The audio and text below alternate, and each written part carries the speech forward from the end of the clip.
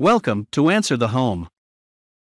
A sudden increase in water pressure in the pipe causes a water hammer, and you will awaken in the middle of the night with a loud knocking sound in your pipe.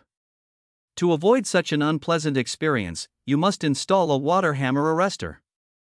In this video, we will learn about where should water hammer arresters be installed. So, let's get started. You must ensure proper pipe arrangement to place the water hammer arrestor to stop the hammering sound. You can try the location, such as near the pump that produces a hammer, or where the pipe changes direction. If the water hammering is severe, you can install arresters near the pump at a water rising point and at the pipe elbow. Compression fixtures are required for dishwashers and other kitchen appliances.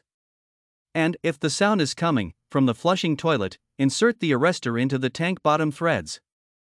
For more information, visit our page Answer the Home and subscribe our YouTube channel for new videos. Thanks for watching.